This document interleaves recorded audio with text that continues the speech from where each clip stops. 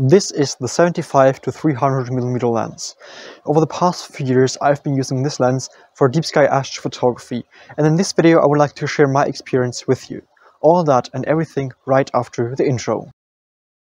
This video is not sponsored and not being paid for it. All products shown in this video were purchased by myself, but now I would like to start. So this is the 75 to 300 millimeter lens. You can use this lens at a focal length between 75 up to 300 millimeters. And over the few years, I have captured a lot of deep sky uh, astrophotography images with this kind of lens. And in this video, I would like to sh show you a few of these images, and I would like to talk about whether this lens is indeed good for astrophotography. I think the, be the best way to show whether a lens is good for astrophotography is by showing images I was able to achieve. And therefore, I would like to show you a few images I captured with this lens. As I already mentioned, you can use this lens uh, at a focal length between 75 up to 300 millimeters. So this is a great range of focal length for deep sky astrophotography. So on the one hand, you can use this lens at a focal length of 75 millimeters for wide field astrophotography, but on the other hand, you can use this lens at a focal length of 300 millimeters for a little bit more magnification, such as for objects like smaller galaxies or nebulae. So you can photograph a lot of objects with this kind of lens.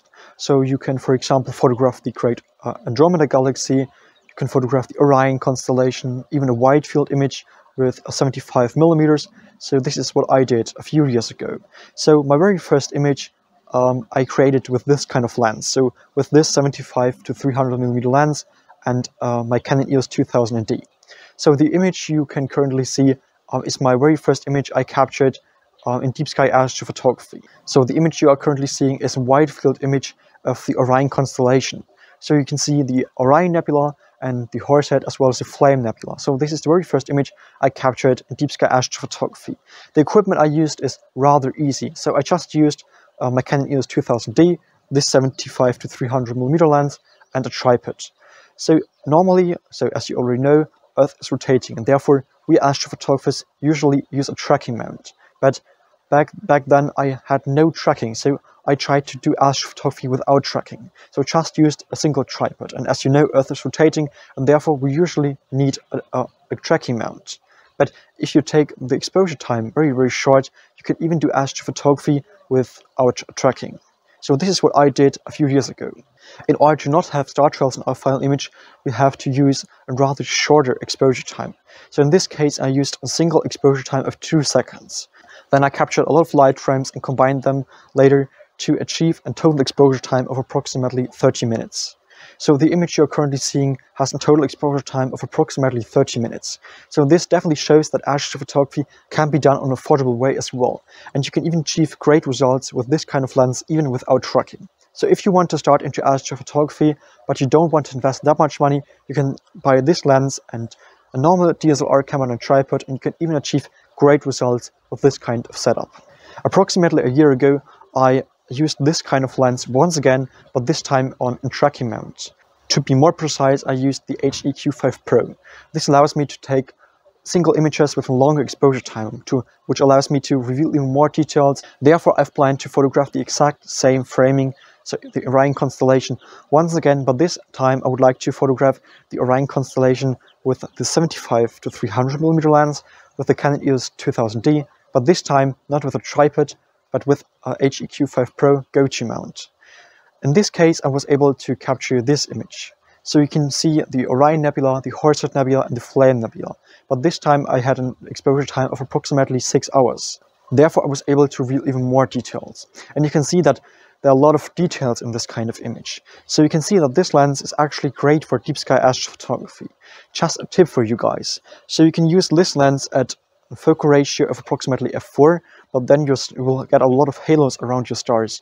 In order to get better images, better, better star quality, I would recommend using f5.6 or f7.1. So something in that range to get better stars and better image quality.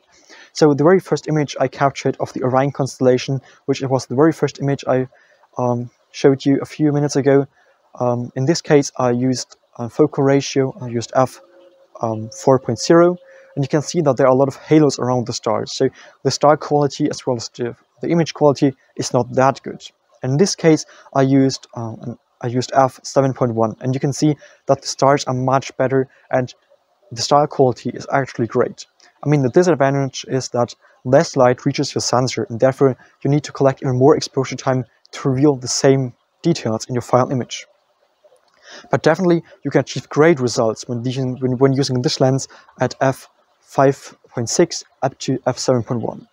So if you would like to get into deep sky astrophotography, this lens is actually great. So these are some kind of two images I captured with this kind of lens. So if you have any further questions about this lens, if, or if you have any ideas what I should capture, feel free to write these questions down below in the comments. I'm very happy to help you. If you have any questions in general about deep sky astrophotography or any more detailed questions about this lens, feel free to ask me and I'm going to help you. If you are interested in more pictures I captured with this lens, feel free to write that down below in the comments and then I'm going to do another video about this kind of lens which I show you a few other images I captured with this lens. So approximately half a year ago I captured a few other images with this kind of lens so if you're interested in that feel free to write that down below in the comments. So the images I was able to achieve are actually fantastic. So if you're inter interested in it, feel free to write that down below in the comments. So as already mentioned, if you have any further questions, feel free to ask me and I'm going to help you. If you found that guide helpful and I was able to help you, I would really appreciate a like and a subscription. Otherwise, thank you so, so much for watching and, and until next time. Clear skies, Felix.